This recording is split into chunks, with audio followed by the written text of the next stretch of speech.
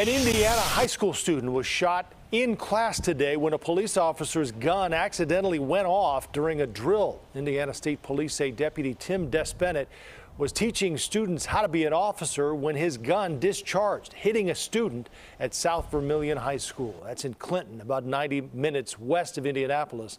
The student's injuries are not life threatening. The deputy is now on administrative leave.